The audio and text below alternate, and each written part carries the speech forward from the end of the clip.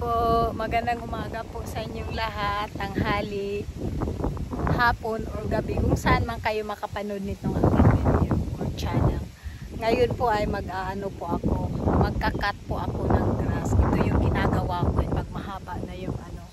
Pag mahaba na yung damo, pinuputol ko kung minsan naman asawa ko ang nagpuputol. Kahapon, ano, ini-start ko dito kahapon. Ayan o. Oh. Yung dito na side, naputol ko na kahapon. Yung dito na lang. Ayan o, oh, malaki yung ka malaki yung kaibahan kapag ano, yung naputol na sa hindi. Ayan, mahaba na kasi masyado. Kaya kailangan ko nang magputol. Ayan o. Oh. Ganyan ang itsura niya kapag mahaba. Ayan, ganyan yung itsura niya pag mahaba. Kaya, tapos ito naman pag ano, naputol na. Kaya, magpuputol ako ng damo ngayon. Ito yung ginagawa ko dito. Hindi kasi kami naghahay ng magpuputol. Eh. Kami-kami lang mag-asawa gumagawa ng mga gawain bahay kung minsan. Sige, kunin ko lang yung lawn mower para makapag-start na tayo ha inilalayo ko lang ng kunti kasi maingay eh. Baka masasakit yung tainga nyo sa ano, sa. Mag-start na ako mag, ano, magputol. Pakita ko lang sa inyo.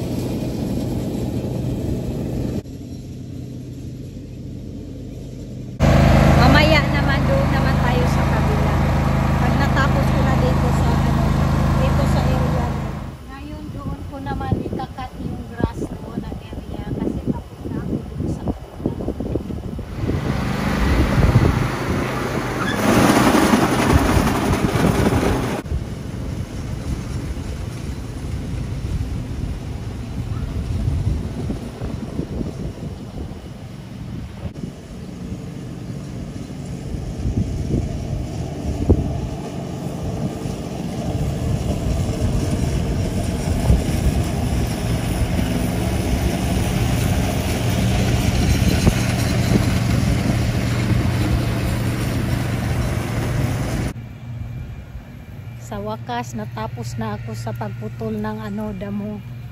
Ayan natapos ko. Pati doon sa kabila. Sa sunod naman ito naman ang gagawin ko. Putulin ko yung mga damo na dyan.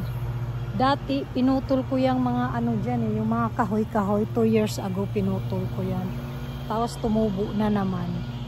Ayan, puputulin ko next time pag may ano, pag hindi ako tinatamad. Yan gagawin ko. Yan. Yan, putulin ko yan dyan. Kasi hanggang doon yung ano namin, is yun sa malalaking puno. Hanggang doon yung ano, linya ng ano namin, lupa. Ganito lang mga ginagawa ko dito. Simple lang ang buhay ko dito sa Amerika. Hindi bunga. Yan.